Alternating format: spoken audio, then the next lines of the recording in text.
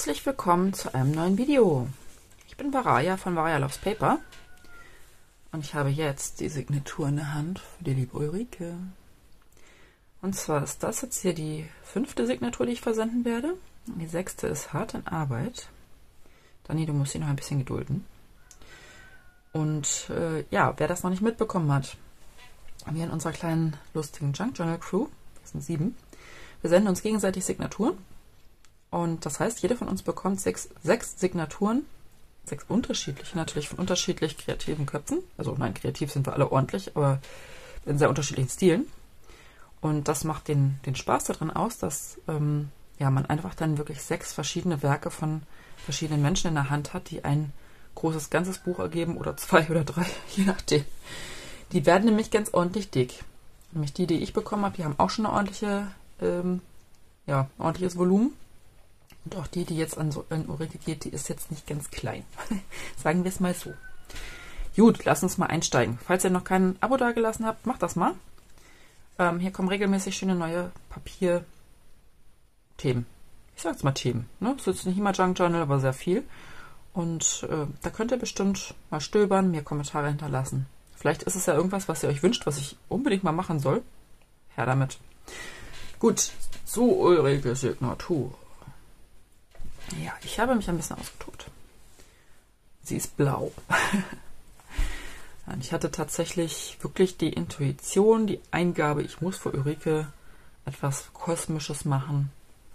Etwas, ähm, was auch blau in sich hat. Ich hoffe, dass es dir gefällt, Ulrike. Wenn nicht, dann schrei, dann nehme ich sie zurück, dann behalte ich sie. Ist kein Problem. Ist überhaupt kein Problem. Sie hat ein Dingeldanger Lesezeichen, also das kann man abmachen. hier so ein, so ein Tülü. Und das werden wir auch gleich tun beim Durchblättern.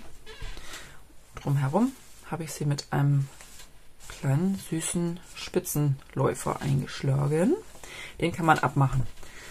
Möglicherweise wird der ein bisschen schwierig, wenn man den äh, mit einbinden will. Deswegen ist überhaupt kein Problem, wenn Ulrike einfach nur die Signatur einbindet und nicht den Läufer an sich. So genau, oben drauf wollte ich nochmal filmen. Ja. Auch abnehmbare Elemente. Das werden wir jetzt nämlich gleich tun. Und zwar einmal hier den Lesezeichen, Dingeldangel abzunehmen. Ein kleines Steampunk-ähnliches Element. Ich dachte mir so, Clocks in Astronomy, das passt ganz gut zusammen. Das heißt, wir haben hier einiges an Uhren und äh, kosmischen Sachen. Und ein Schmetterling. Schmetterlinge gehen immer. Vor allem, wenn sie blau sind. also, das versagt sogar gleich meine Stimme hier. So, also das hier ist quasi der Einwand. Ich habe hier so ein bisschen eine Verstärkung in den Rücken gebaut, dass das nicht so zusammenflufft. Und den nehmen wir jetzt erstmal einfach zur Seite. Schwuppdiwupp. So, das ist die Signatur. Um, ja, if an idea, if at first an idea isn't absurd, there is no hope for it. Auf jeden Fall. Und auch das Papier ist haptisch sehr schön und sehr fein. Also mir gefällt das total. Und generell, ich kann nichts basteln, was mir selber nicht gefällt. Also alles das, was ich hier ähm, raushau und verschenke und irgendwas. Das muss irgendwas sein, was mir gefällt. Vom, vom Gefühl und vom Anblick. Genau, und hier fangen wir gleich mal an. Im Cover haben wir Taschen mit Text, mit Papierchen. Ich habe überall so ein bisschen was Richtung Astronomy, Richtung Travel reingepackt. Ja, ich habe hier so schöne kleine Papiere, auf denen man wunderbar schreiben kann. Hier auch eine ganz tolle Haptik. Hier so einen kleinen Kaskadenblock dazu. Und auf der Karte hier, da, wird, da kommt der persönliche Gruß mit an Ulrike. Und der geht euch mal so gar nichts an. Nein. Falls Ulrike den vorlesen möchte, kann sie es gerne tun. Aber das ist ihr Gruß und nicht euer. So. Ja, generell, ihr seht es schon, ne? das Ganze ist mit so einem blau-grau-Vintage-Ton gehalten. Ich habe überall kleine Text drin. Hier ist nochmal eine kleine süße Überraschung drin. Also nicht süß im Sinne von Essen, sondern ja hübsch. Und hier habe ich noch ein paar Paperclips drin und an den Paperclips selbst, da hängen noch Papiere. Und wenn, Ulrike, wenn dir das zu, zu dick wird, zu viel ähm, Volumen, dann nimm diesen ganzen Klimbim raus. Dann ist das Ding, glaube ich, nur noch halb so dick. So, ich habe hier ähm, die Seitentabs Tabs dran gebaut. Universe, New Moon, Lucky Star, und Full Moon. Die ähm, habe ich aus dem Cosmos Infinity Stemperia. Das ist auch eins meiner Lieblingspapiere. Wobei mittlerweile sage ich bei Semperia zu so vielen Sachen, das sind meine Lieblingspapiere, dass ich da ja fast schon die Top 10 der Lieblingspapiere aufmachen kann. So, jetzt will ich euch gar nicht so mega viel erzählen. Ihr solltet einfach nur mal einen Blick ähm, reinwerfen können. Na, hier haben wir nochmal Taschen dahinter. Das hier ist aus dem Magic Forest Papier. Fand ich, das passt irgendwie trotzdem.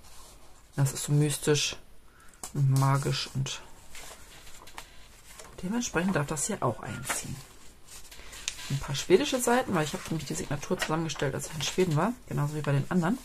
Da habe ich die Grundsignatur zusammengesucht und dann, als ich wieder in Deutschland war, habe ich dann ähm, die, ja, die Ergänzung gemacht, das Verschönern, das Dekorieren. Noch ein paar Sachen natürlich gefunden. Ja, so ein, zwei Papiere hatte ich nämlich nicht mit, die musste ich dann noch mit ergänzen. Schon wieder vergessen. Ja, ein bisschen Richtung Travel habe ich auch mit reingepackt, weil ich finde immer so alles, was Richtung Astronomie ist, hat auch irgendwas von Abenteuer und von Travel. Und deswegen habe ich hier auch ein paar Sachen gemacht Richtung Wissenschaft und Richtung Travel. So, hier wohnt ein kleiner Magnet hinter. Und warum, werdet ihr gleich sehen. Hier habe ich mich ein Flap eingebaut. Schwupp. Mit Klack. Magnet. So, und hier gefällt mir das tatsächlich besser, wenn die alte Postkarte dahinter ist. So, so ist schöner. Ja, hier habe ich so ein paar richtig schöne ähm, Die Cuts. Die sind ein bisschen fummelig, wenn man diesen ganzen Kleinkram da rauspuzzelt. Ansonsten gefallen die mir sehr gut. Und vor allem das Papier gefällt mir sehr gut. Genau, hier kann man wieder rausnehmen. Und auch wieder eine schöne alte Postkarte, die ist aus Schweden. Aus dem Ort, wo wir immer sind. Hier noch so ein bisschen, oh, richtig altes Papier. Das ist wirklich so zerfetzt. Das war nicht ich. Das gehört so. So, und Ulrike hatte sich gewünscht, dass ich die Signatur gleich binde. Na, dass hier das schon mal vorgebunden ist und das nicht auseinanderfällt. Völlig fein, mache ich doch glatt. Musst du sich das gegebenenfalls noch ein bisschen anders binden, wenn sie es in ein Buch einfügt. Ähm, hier und da sind schon Ideen aufgetaucht, ob man nicht einfach die Signaturen selbst als einzelne Bücher nehmen kann, weil die alle so schön dekoriert sind und so dick sind vor allen Dingen. Ja, ich hatte im letzten Video mal gezeigt, die drei Signaturen, die bei mir angekommen sind wie dick die äh, gemeinschaftlich sind. Das, die füllen zu, zu dritt ein richtig fettes Buch. Und ich würde mal vermuten, dass es den anderen ähnlich geht. Weil wenn alle annähernd so dicke Signaturen machen wie die, die ich bekommen habe und die, die ich versendet habe, dann kriegt das keiner in ein Buch. Ich denke mal, da werdet ihr bestimmt auf den Kanälen von Jessie und von Efi und von Dani auch was dazu sehen. Ähm, vielleicht kriegt es einer von denen hin, daraus ein ganzes Buch zu machen. Also ein ganzes Buch im Ton. Ne? Eins, nicht drei. Also ich denke mal, dass es bei mir mindestens auf zwei hinausläuft. Vielleicht werden es sogar drei. Gucken wir mal. So, und hier. Ich finde einfach dieses Thema Astronomie, Wissenschaft, das finde ich einfach schön. Interessant und von Farben her auch schön. So, hier mal wieder so ein. Klack. Kleinen Magnet. Ja, hier ist einfach nochmal. Überall ist Platz zum Schreiben. Hier puzzelt sich das so ein bisschen mit diesen Ringen, aber das ist auch einfach ein haptisches Ding. Ne? Das kann man einfach den ganzen Tag anfummeln. So, ich rutsche gerade aus dem Bild raus. Hier der Wolf zum Cosmos Infinity. Oder Magic Forest. Schön die Cut. Das ist einfach noch, lädt noch ein bisschen ein, um selber daran weiter zu dekorieren. Und dann auch die Papiere hier, die sind einfach, ja, vielleicht zum weiter zum rausnehmen und irgendwo anders dran schreiben oder um hier irgendwas reinzukleben und nochmal so eine so ein Ausklappdingens zu haben zum Blatt vergrößern zum Schreiben. Hier ist uns doch etwas rausgefallen. Du gehörst doch da dran. Gibt's doch nicht. Bleib da. So, und hier haben wir so einen kleinen Dreiklang. Auch wieder diese schönen Papiere. Und ich finde die einfach, die sind recht dünn, aber die fühlen sich sehr angenehm an. Also haben eine schöne, schöne Haptik. Und dementsprechend ähm, kann man daraus echt was machen. Entweder wirklich in diese Taschen stecken als zusätzliche Schreibsachen oder einfach auch ein eigenes kleines Büchlein, habe ich auch schon überlegt. Gut, jetzt ist hier äh, der Drops gelutscht, sage ich mal. Hier kommt kein eigenes Büchlein mehr rein. Hier ist jetzt